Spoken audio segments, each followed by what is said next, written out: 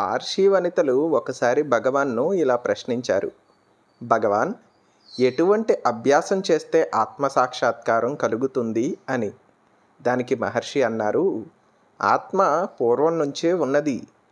ఆత్మస్థితి కొత్తగా పొందవలసింది కాదు.